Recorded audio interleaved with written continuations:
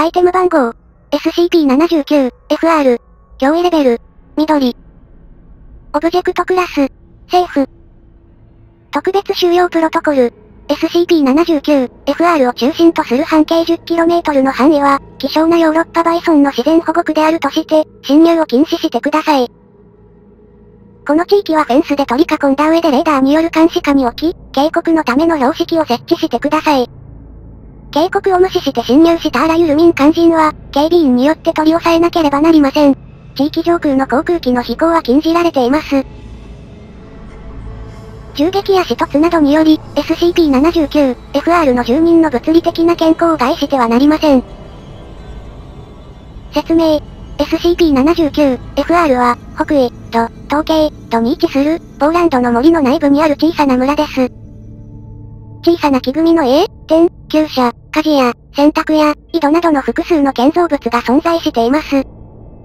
これらの建造物は古いものであるように見えますが、これらは世界中、世界中の歴史の中で存在したあらゆる建造物と特徴が一致することがありません。また、発見された多くの異事用、異常より、これらの建造物は住宅としての機能や、工芸や商業などの機能を果たしていないと考えられています。ドアは閉じておらず、鍵もかかっていない上、窓は窓ガラスがはめ込まれておらず、煙突や雨どいはそれらの端部で開放されています。家は時折トイレやキッチンなどの重要な部屋が存在しない場合があり、残飯やメンテナンス道具などの生活の痕跡は残されていません。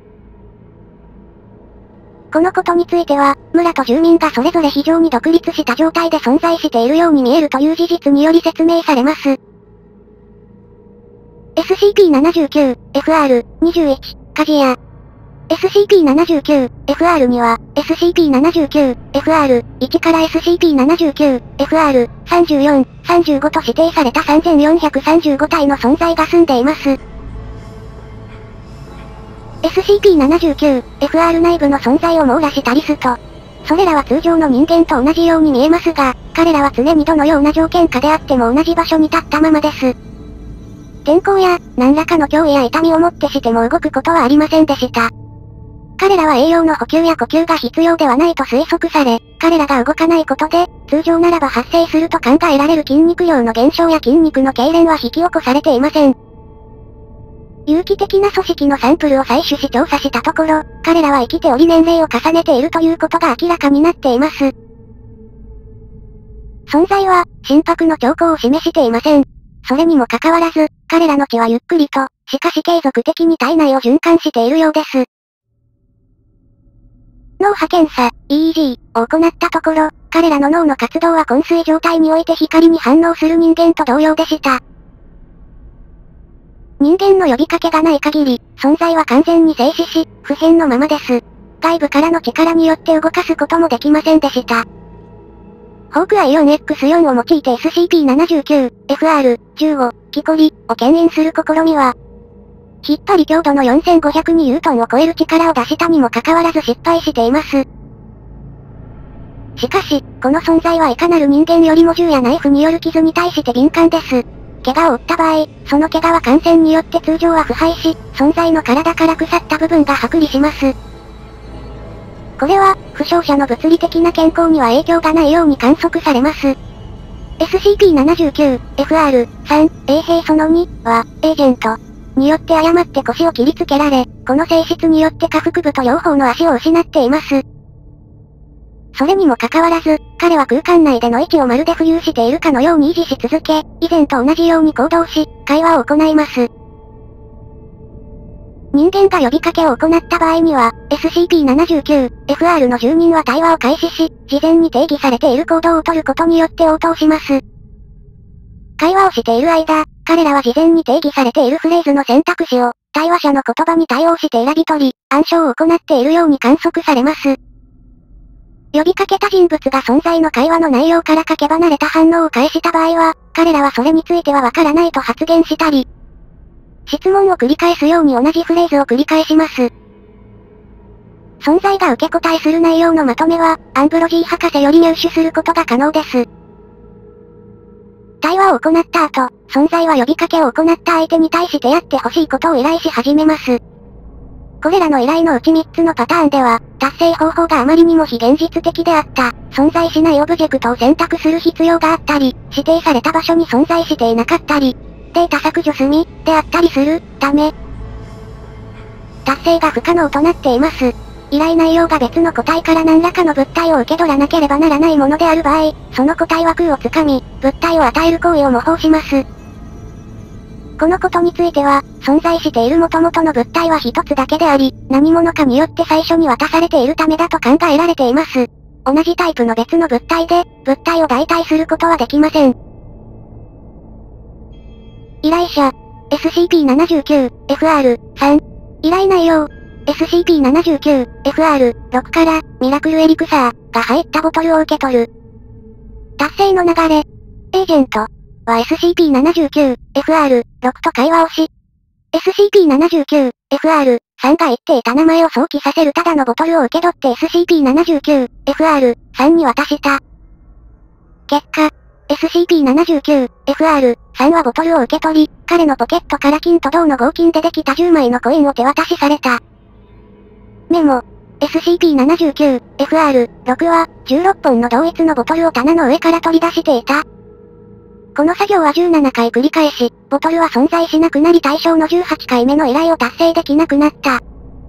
SCP-79、FR-3 は、彼の持っている容量が小さすぎる袋に全てのボトルを入れていると考えられるが、実際は不明である。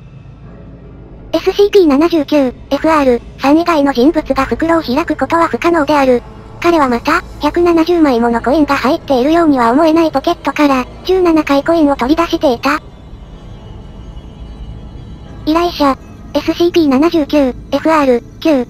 依頼内容、SCP-79、FR、7SCP-79、FR、8SCP-79、FR、9と呼びかけた人物で石蹴りを行い、石蹴りに勝利する、彼らの前の地面に石蹴りが描かれている。達成の流れ、エージェント、が挑戦し、成功した。結果、SCP-79、FR9 は、彼に暗号として、3、6、9、4という数列を教えた。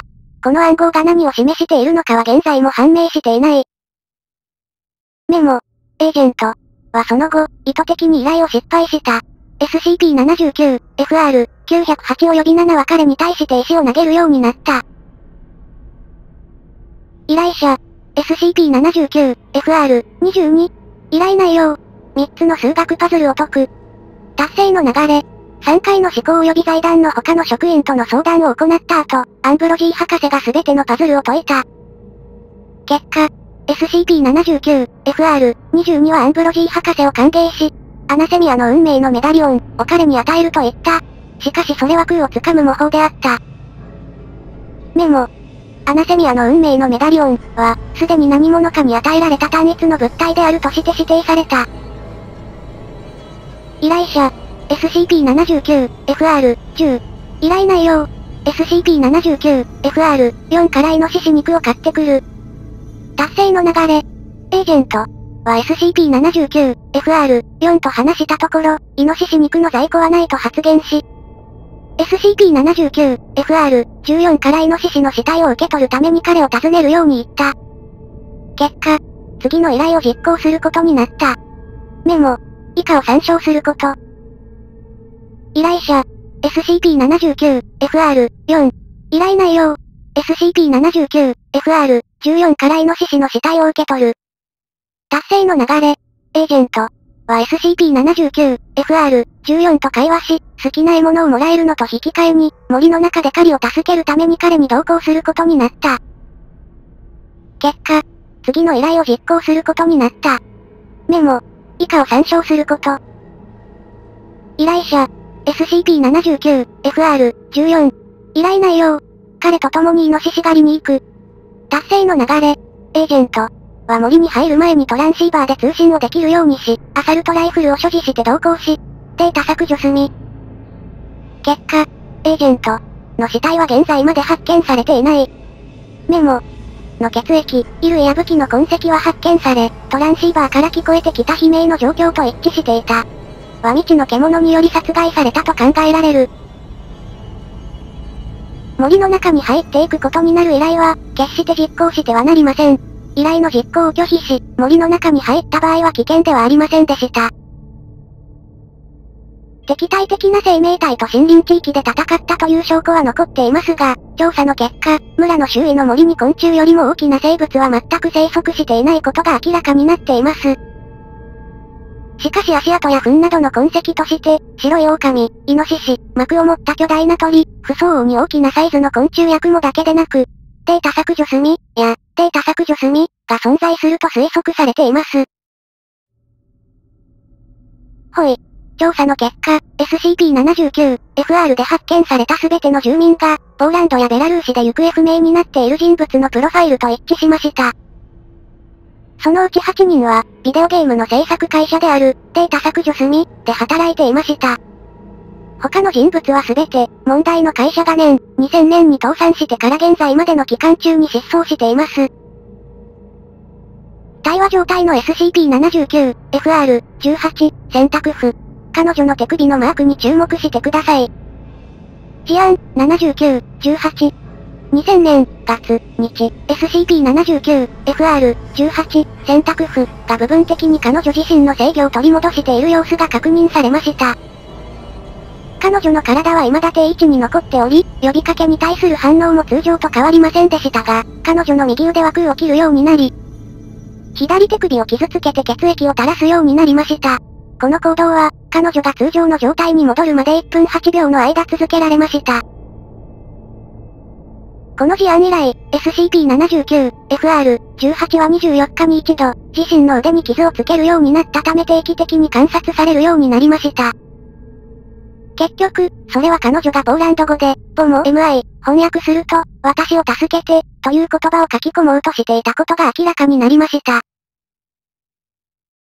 SCP-79、FR-18 に対しては、SCP-79、FR-3 のような絵師による崩壊を避けるために、自傷行為の傷を消毒するための現場職員を配置するように要求しています。事案、79、34。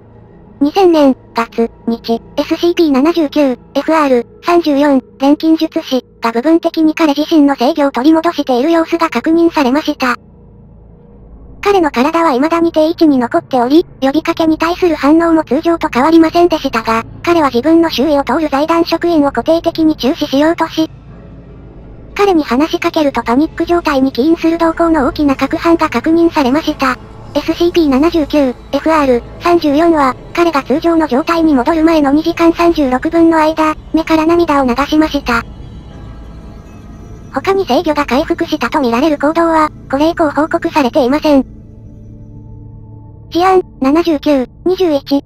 2000年、月、日、SCP-79、FR-21、カジヤ、が部分的に声の制御を取り戻し、エージェント、との会話を行いました。この事案は、彼が通常の状態に戻る前に2分20秒の間続きました。承認完了、エージェント。おはようございます。SCP-79、FR-21。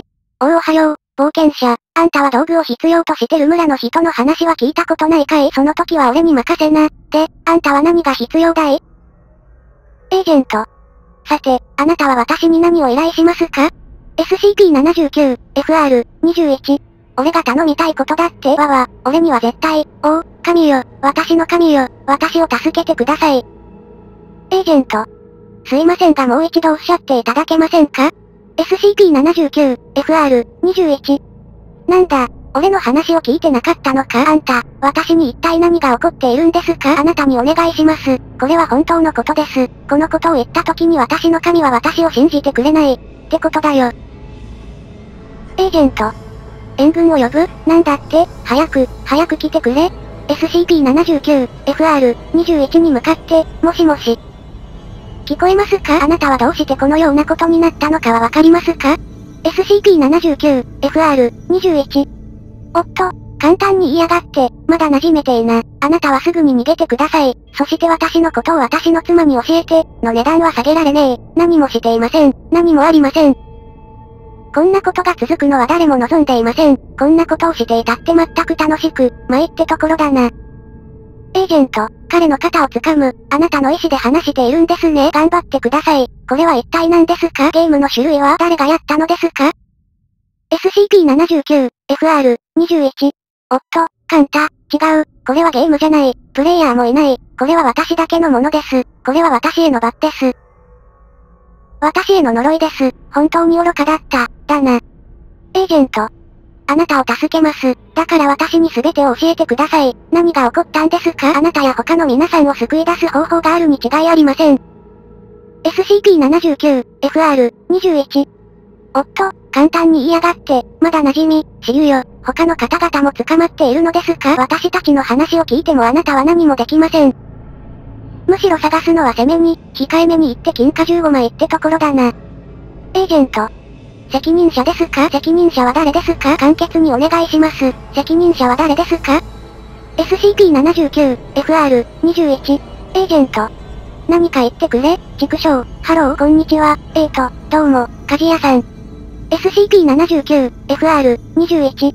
おおはよう、冒険者。あんたは道具を必要としてる村の人の話は聞いたことないかい？その時は俺に任せな。で、あんたは何が必要だい？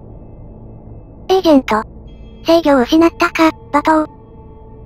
事案、79。現在使用可能な、黒の男、を捉えた画像。黒い中世の衣服をまとった存在が、村の周囲にある森の中でさまよう姿が、2000年、月、日、2000年、月、日。2000年、月、日、そして2000年、月、日に財団の部隊により発見、観測されています。彼はその性質の全てが不明であり、捕獲や身元の確認はなされていません。現在研究が進められています。この個体は SCP-79、FR の一部であっても、外部の要素であっても、それの先導が行える可能性を考慮すると、特に危険です。次回の遭遇時には、彼を生きたまま捉えることを推奨します。事案、79、1。2000年、月、日、村の入り口の衛兵詰所の壁に落書きが発見されました。それはポーランド語で、0.7.6ポプローヨネブ DY と書かれており、翻訳を行うと、0.7.6バグの修正、となります。その後、SCP-79、FR-6 の所持している、ミラクルエリクサー、のボトル20本など、特定の依頼を達成するのに必要な多くの、消耗品、が夜間に補充されていました。落書きを書くのに使用された赤色の物質は不明です。監視を行っていた警備員は、夜間に誰も村に侵入していなかったと証言しています。事案、79、2。2000年、月、日、事案、79、イプシロン、15の3週間後に新たな落書きが、今度は単野状の壁で発見されました。そこにはポーランド語で、1.0.0とは弱し肉つかジェスと W エニームザムク、と書かれており、翻訳を行うと、アンブロジー博士の要求によりデータ削除済み、となります。ポーランド語を読むことのできるすべてのスタッフに対し、私はこのメッセージを解釈しないようにお願いします。ここで考えられる懸念は、私たちのエージェントを慌てさせる悪質な噂話よりもさらに立ちの悪いものです。はい、SCP-79、FR は現存している唯一の例です。全くもって、汚染を心配する理由はないのです。オブジェクトクラスは確かにセーフなのです。アンブロジー博士。承認完了、2000年、月、日、フィールドエージェントは、SCP-79、FR-6 によって提案された、鶏小屋を脅かす狼の退治、という依頼を達成するために森に入りました。彼は行方不明となった38時間後に死亡を宣言されました。